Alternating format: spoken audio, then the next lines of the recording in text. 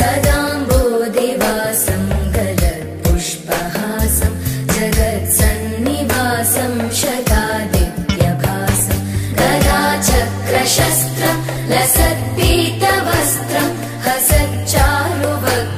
भजे।